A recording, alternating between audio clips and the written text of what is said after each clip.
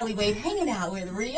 Hello, Shelley. We're in the Highline Ballroom um, in New York City. Rihanna did a special charity concert. It's Yes. a benefit concert benefiting your Believe Foundation. First of all, I was uh, standing in the audience uh, checking out your show. I was like, wow, it just seems like yesterday when you first came out. Yeah. You've amassed such, uh, uh, you know, a great number of hits now. You were able to do, what was that, an hour Thank show? you. And straight nothing but hits.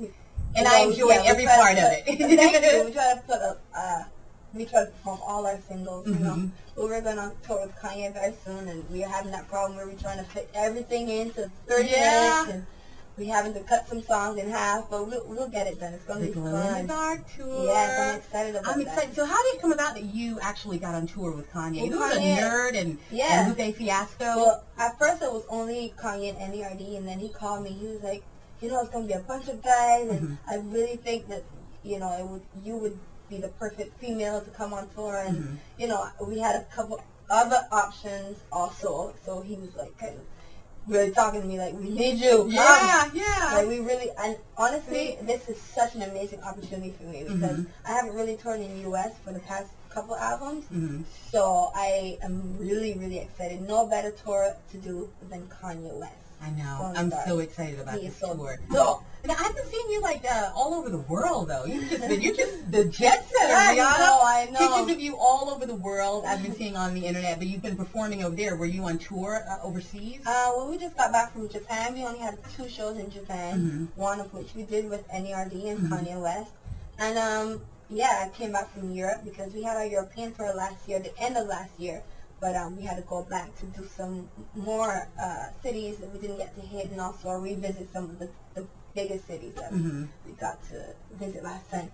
But it's all about the Kanye West tour. It's all about the the I'll be in America for a while because it keeps getting longer and longer and longer. They keep adding dates. Kanye, yes.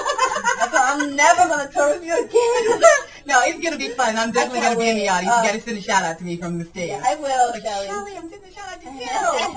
so, um, you, wow, you have got umbrella. you've got the song. You've got the totes umbrellas. Yeah. How did that come about? Was that like, did they hear that you had a song called Umbrella coming out? Because it seems like all immediately, uh, as soon as uh, the song came out, you had your umbrellas. Well, the, the minute the song came out, uh, Totes, they reached out to us. and They were like, we want you to help us sign, uh, design some umbrellas. Mm-hmm. and I thought it was cool because at first it was a little unexpected, you know, Mhm. because I I never thought in a million years that my first line would be umbrella line, Uh-huh. and to team up with them, it was a great great combination. And we made some really really cool umbrellas because umbrellas always seem to be in the way. People hate carrying them. I for one hate carrying them around. But we wanted to make it cute because the rain does fall. You do need to walk around with umbrellas, so we wanted to make it fashionable. And and you said your first line, so that means Yeah. you're, you're planning on doing something else. Yes, I'm planning on doing a few other things, none of which I can speak about yet. Sure. We're just you want to working on break it the now. news with me I want first? no, I want it, I will first. Okay. Uh, when when it, it's done and I can talk about it, I'll come to you. Okay. And I, I feel like a dwarf under you. You have you guys show, No. show Rihanna's heels. I am You are working those heels, girl. I'm tall. And I I'm and I'm looking at your um your uh, tattoo on your foot. I heard you. I saw a picture on People Magazine's website. You have a new tattoo. You Yeah. gotta you gotta turn around and show it Oh, to us. it's- it's Can we get a shot of it on your back? there. Is it this? Oh, not the neck one. We've seen that one before. Hang Yeah, on. it, it actually Is the neck this was- one? It goes all the way down. Oh my gosh! And it's all stars. yeah, That's Like a gorgeous. cluster. What does that represent for you? Um, well, you know. I like stars. You know, Mhm. everyone has this thing. Have you seen- they look at like my star butterflies earrings. Or My star earrings, Yeah. Swarovski, and I've got the ring. I got You some see? Swarovski. So you like stars? I can't. I can't afford the big diamonds like you can now, but. love Swarovski, I rock that all the I time. love Okay. Swarovski. So you just stars mean something for you. That's that's Um, your well, symbol. I, yeah, you know, I, I like it. It's a symbol that I, I became very, very attracted to, and I put it in my logo. It's a part of the R with a star. Kind of rhymes, corny. but R with the star. But um, yeah, I have a lot, a few star tattoos actually. One Mhm. in my ear right here, Oh yeah. and then this was just, it was a little incomplete to me. It was just right on the neck, and Uh-huh. I wanted to make it more feminine and pretty. And what's your fascination with, with tattoos right now? Because I know you have several now. I'm a bad girl. I'm a rock star. Rock Good star girl going bad. Good girl going bad. Okay, finally, let's talk about the re-release of your uh, CD. Um, uh, Take a Bow, my favorite song by you right Thank you now. so much. Um, I sing it really loud whenever we play it on Z100, and you're re-releasing it. It was written by Ne-Yo. Tell us Yeah, about it. uh, yeah. I worked with Ne-Yo and Stargate again. Mhm. Perfect combination. I love working with those guys. And when I heard it, because we had been hearing a few other songs when we found out that we had to do the release of Good Girl Gone Bad.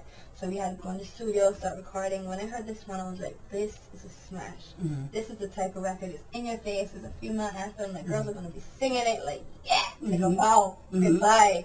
And we just shot the video with Anthony Mandler, which is gonna be coming out really, really, really soon. I haven't seen it yet, but we should be seeing it any day now. Okay, and gotta ask you the Chris Brown question. Mhm. Let's look at her face when we ask her. Everybody's asking you, but I saw Chris Brown at the show tonight. Yeah, he was what does here. that mean, Rihanna? Uh, he came to see my show. Exactly what it was. He came to see your show? Yes. Why did he come to Uh, see your show? Well, actually, every time we're in the same city, we, you know, if it was Kanye West, I'd go see his show. He'd probably Okay. come see mine. You know? Okay, I was thinking you'd want to like reveal it to me so I could get the scoop. Or Shelley. I know. She's like, don't love you that much. But it's been so nice to see you again, Rihanna. Pleasure we love you, and I'm seeing so happy for all of your successes and Thank everything. you. Loving all the haircuts. Thank you. They are fierce. Backstage with Rihanna here at the Highland Ballroom here in uh, New York City. I'm Shelley Wade, and this is Z100. Yeah. Thanks, Rihanna. Good. You're Thank you very